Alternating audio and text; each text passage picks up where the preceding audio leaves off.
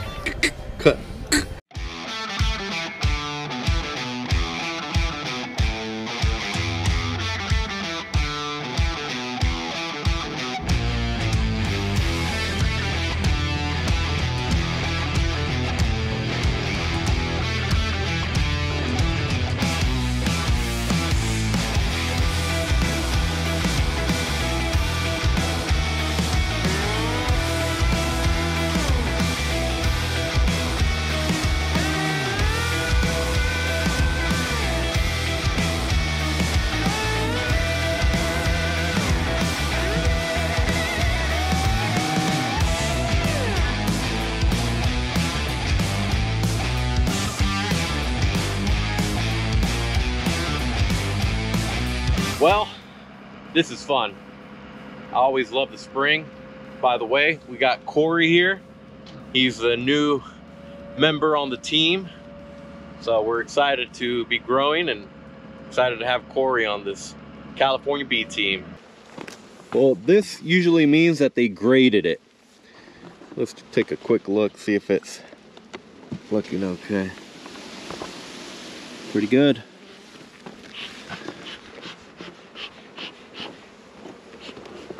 Good flight nice warm day. Let's take a look. I saw another one over here. It could have been there it is that one right there. So we just want to look see where the ones that got graded um, see what it's looking like.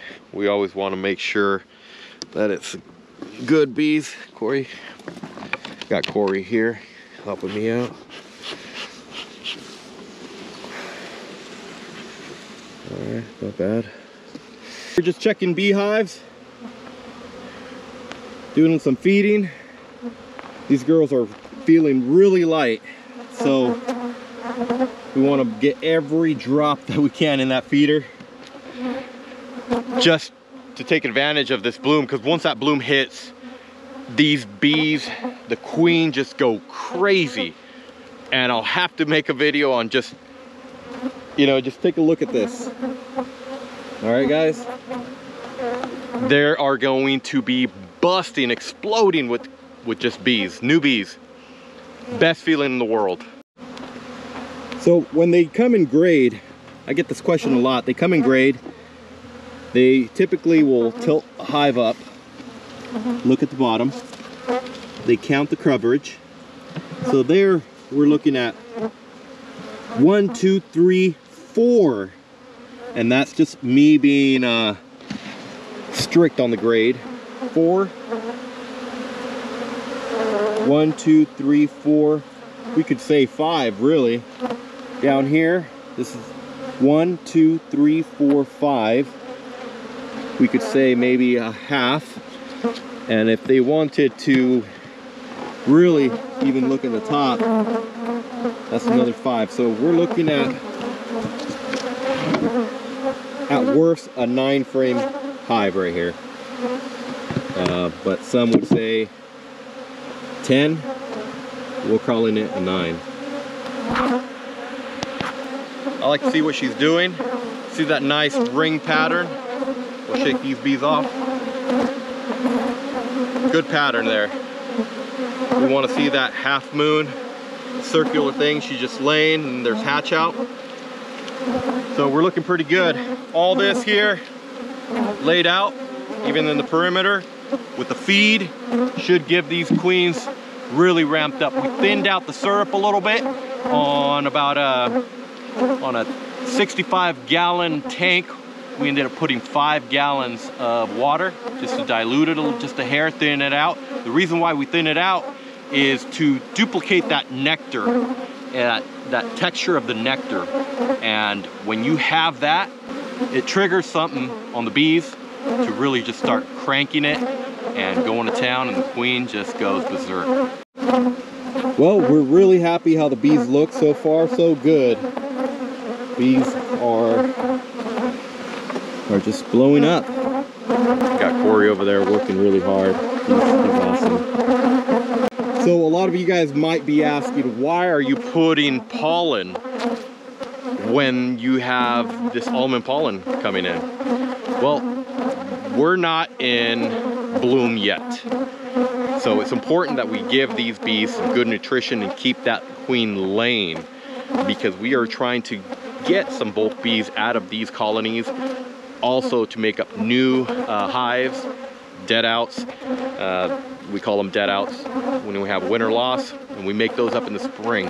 So it's very important for us to really maximize this bloom giving them that jump start with that pollen and these are the global patties that we're using this time normally you would see the NutriBee which I still love but it's what we had Hope you guys enjoying this video. If you haven't already subscribed to this channel, go down below, smash that subscribe button, give us a big thumbs up on this video, guys. Well, we are heading into town to go meet my buddy Don Bryant and uh, an old friend Ken Smith go have lunch at Granzella's. So if you're ever out here in, in uh, Williams, California, you have to check out Granzella's. It is definitely a Williams historical uh, restaurant here. It's just uh, it's good food, good place to shop, get a couple gifts. Well, sorry guys, we are here at Granzella's. We already had lunch. I totally forgot to bring the GoPro with me, but anyhow, let me tell you about this hamburger. It was delicious. Now we're heading back to go wrap it up and close these hives and close this video. We'll see you guys back at the orchard.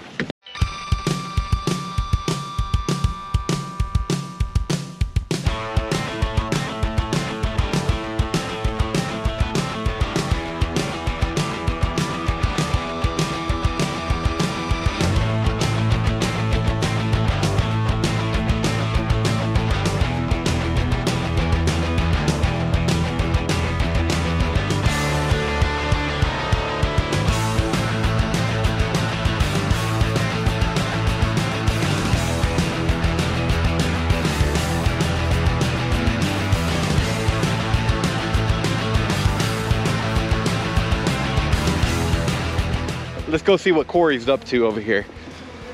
How's it going, Corey? It's going good. How's the bees looking? Looking good. Woo! Real good. All right.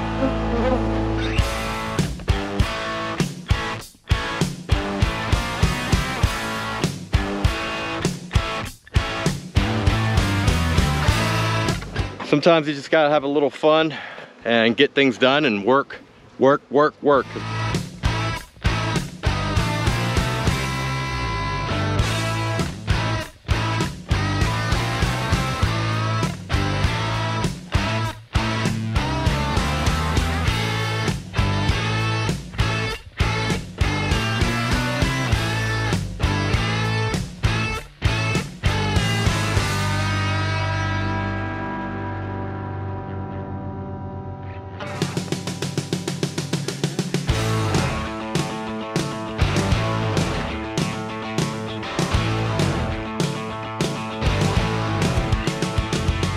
Well, we are here at our very, very last drop.